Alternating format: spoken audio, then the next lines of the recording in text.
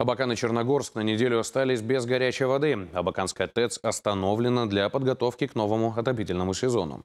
Терпеть неудобства потребителям придется до воскресенья 18 августа. Работы по ремонту будут вестись круглосуточно. Планируется задействовать порядка 100 человек. В дни остановки также будет выполнена переврезка на новый участок трубопровода, который был построен взамен поврежденного в мае текущего года.